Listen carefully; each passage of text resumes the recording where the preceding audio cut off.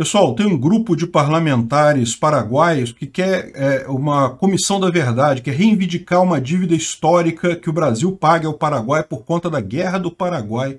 Vamos entender essa história, né? Essa notícia foi sugerida por Taruíra Capixaba e mais um monte de gente. Obrigado ao pessoal que sugeriu a notícia. Obrigado a você que está assistindo o nosso vídeo. Se você gosta do nosso conteúdo, por favor, deixe o seu like, se inscreva aqui no canal, né? Pois bem, a Guerra do Paraguai, como a gente conhece ela aqui no Brasil, foi é, a maior guerra que a gente viu aqui na América do Sul, é, até, até hoje, na verdade, não, não tenho conhecimento de outra guerra maior do que essa. Foi uma guerra que envolveu, de um lado, o Paraguai de Solano Lopes e, de outro lado, a Tríplice Aliança, o Brasil, Uruguai e Argentina do outro lado. Né?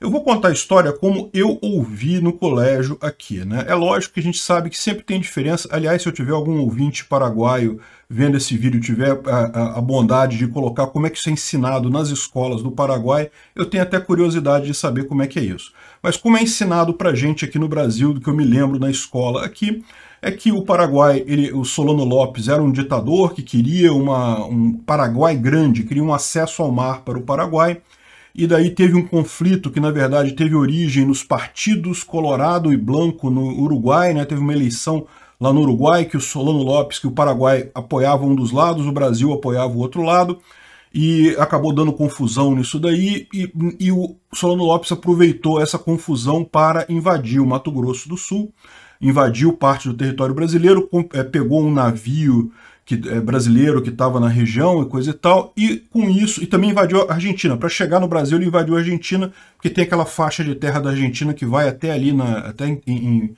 Porto Iguaçu, né, lá em Porto Iguaçu, em Foz do Iguaçu. E daí ele invadiu esse pedaço todo do Brasil e da Argentina numa ideia de chegar até o mar, de abrir uma, uma passagem do Paraguai para o mar, né? Enfim, e com isso, Brasil, Uruguai e Argentina formaram a Tríplice Aliança e contra-atacaram o Paraguai. E o Paraguai, de fato, era uma potência na época, ele tá, era um país mais industrializado que os outros países. O Brasil, a Argentina, na época, em comparação com o Paraguai, eram subindustrializados. Então, o Paraguai era uma potência muito grande. Só que o Brasil, eh, juntando as tropas eh, dos três países, acabou tendo uma derrota trágica para o Paraguai e no final das contas 90% da população masculina do Paraguai foi dizimada, a infraestrutura do Paraguai foi toda destruída, uh, os guerreiros da Tríplice Aliança chegaram a invadir o Paraguai durante muito tempo, entraram lá dentro, depois acabaram retornando uma parte do território, o Paraguai também perdeu território nessa, nessa briga, né? Mas enfim, foi realmente uma, uma situação, uh, essa, isso foi o que foi ensinado. Olha só, realmente houve uma guerra muito feia, foi feia para o Brasil também, então o Brasil perdeu um terço dos, dos homens que foram combater lá em, na, terra, na Guerra do Paraguai. Né? O exército brasileiro perdeu um terço dos homens. É que o Brasil é muito grande, né? então meio que para o resto do país não fez muita diferença. O pessoal que estava ali perdeu muita gente de fato. Para o Paraguai foi uma tragédia completa. Então, essa é história que nos contam. É difícil dizer se teve algum porém aí, alguma dessas histórias, mas pelo que eu entendi aqui do que eles estão falando, não, eles não estão questionando isso. O Paraguai, de fato, iniciou a agressão e os outros países responderam a essa agressão do Paraguai. A questão que eles estão colocando aqui é que teria havido um genocídio proposital, ou seja, depois da guerra já estar ganha, não precisava mais disputar, os brasileiros continuaram avançando e matando pessoas e destruindo coisas sem precisar fazer isso. O Paraguai já tinha é, é, acabado, já não tinha mais força militar e coisa e tal.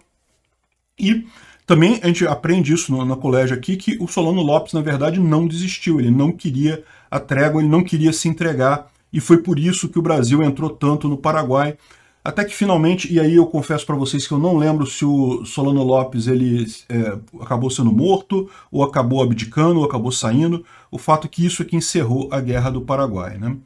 Pois bem, é, de novo, eu não vou dizer que isso é verdade, se alguém tiver mais informações, coloca aqui embaixo. É, é, o ponto central dessa história é a iniciação de agressão veio do Paraguai.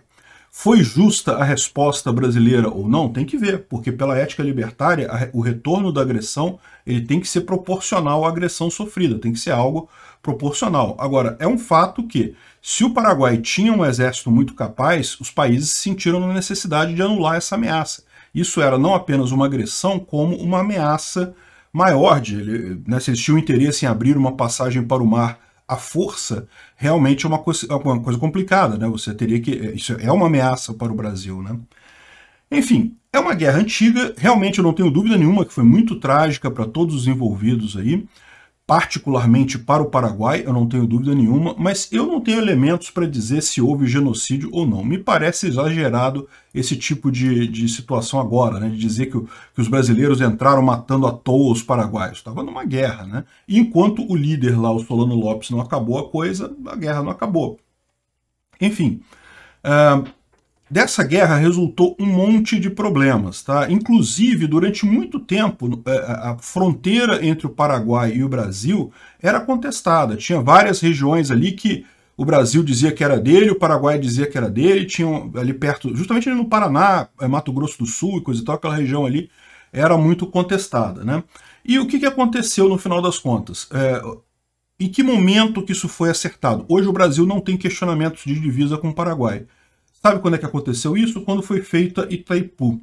Itaipu, feita pelos militares, foi feita justamente entre Brasil e Paraguai, ali em Foz do Iguaçu, né? E justamente como os militares queriam construir a usina e precisavam do acerto com os paraguaios, acabou se fazendo um grande acertão que envolvia a usina e a, a, divisa. Então, assim, o Brasil cedeu alguma coisa em relação ao que ele queria, porque ele queria muito fazer a usina. A usina sempre foi um interesse muito maior do Brasil do que do Paraguai. O Paraguai não tinha necessidade da energia elétrica eh, produzida por Itaipu, os brasileiros tinham. Então, nessa negociação, o, o governo brasileiro acabou cedendo na maior parte das coisas. Tá? A maior parte do território que era contestado acabou sendo aceito pelo governo brasileiro como pertencendo ao Paraguai. Então migrou para o Paraguai. Em troca disso, o Paraguai aceitou o acordo todo da usina. Né?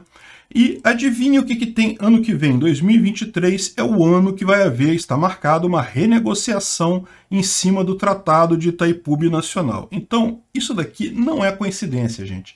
Olha só, foi muito trágico, mas é uma coisa que está 150 anos no passado. É, eu lamento aí os, os, descendentes de quem sofreu nessa guerra. Teve gente que, no Brasil todo e no Paraguai, com certeza, que sofreu muito, é, é, os antepassados sofreram muito, mas a verdade é que já é uma coisa muito distante isso daí. Por que, que os paraguaios estão levantando isso? Exatamente por causa de Itaipu de novo. Eles querem jogar a mesma carta querem falar com o Brasil que não vamos renegociar agora, mas tem que ter uma indenização histórica pela guerra do Paraguai, não sei o que lá. Aí você pode pensar, pois são idiotas, eles não vão colar isso. Não, talvez essa reivindicação não passe, mas o fato é que você tem um monte de reivindicação para sentar na mesa de negociação é melhor do que você não ter nenhuma, entendeu? Você ter esse pleito adicional, ter essa questão adicional, é, é mais um ponto aí na negociação com o Brasil, né?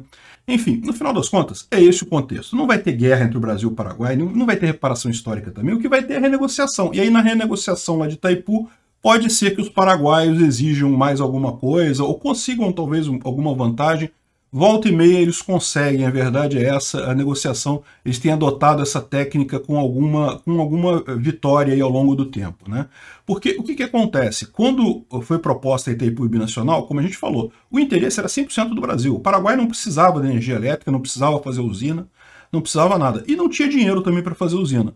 Então, o que, que os brasileiros propuseram? Fazer a usina binacional, pertence aos dois países, mas o Brasil bancou tudo. Né? O Brasil fez toda a usina, fez toda a obra e coisa e tal, e metade é do, uh, é do Paraguai. É, inclusive, é, é, muito curioso lá. Né? Eu já fiz alguns projetos lá em Itaipu Binacional, conversei com muita gente lá dentro, e eu achei uma coisa extremamente estranha como é que funciona a Itaipu Binacional. Porque você acha que uma empresa estatal é estranha, uma empresa binacional, que é estatal de dois países, vocês não fazem ideia. Por exemplo, tem uma parada lá de paridade de cargos. Se você tem uma secretária brasileira, você tem que ter uma secretária paraguaia. Se você tem um chefe não sei que lá brasileiro, você tem que ter um chefe não sei que lá paraguaio. Imagina a loucura que é aquilo ali. Né? Mas enfim, uh, isso aí é para outro dia. O fato é o seguinte, uh, o Brasil bancou tudo. E aí, qualquer ideia. Primeiro, o Paraguai pagava a parte dele com energia. Então, é, foi acordado que uma parte da energia do Paraguai viria para o Brasil é, para pagamento da obra durante muito tempo. Essa parte que acaba agora em 2023. É, é, a outra parte do Brasil também seria amortizar a dívida dessa obra. E depois você teria também uma parte de energia que é do Brasil uma parte de energia que é do Paraguai. Hoje, o Brasil compra a parte de energia do Paraguai também, ou seja, o Paraguai praticamente não usa a energia de Itaipu. O que, vai acontecer em 2023? Acabou o financiamento da obra. A obra se pagou finalmente, agora que Itaipu se pagou é, depois de tantos anos, né? Foi construída, foi anos 80 isso, 82, agora eu não me lembro, foi muito tempo atrás. E daí, com essa renegociação agora, vai, se, vai ficar realmente aberto isso daí, o preço da energia, quanto é que o Brasil vai aceitar pagar pela energia do Paraguai, porque até agora o Paraguai era obrigado a pagar porque estava pagando, na verdade, a dívida da construção da usina. Né? Agora vai ficar um negócio mais livre. Então, essa é a negociação que o pessoal está querendo, é por isso que tem esse contexto aqui. Tá? Então, foi uma ideia, foi uma guerra muito triste, uma guerra que causou muitos danos a todos os países, principalmente ao Paraguai, e foi um erro causado pelo Paraguai. Um erro, uma putinada causada pelo Paraguai. Obrigado por assistir o vídeo até o final. Além de curtir, compartilhar e se inscrever no canal, considere se tornar patrocinador com valores a partir de R$ 1,99. Clique no botão Seja Membro abaixo para saber as condições e vantagens de patrocinar o canal. Mais informações sobre o nosso projeto, visite nossos sites indicados na tela.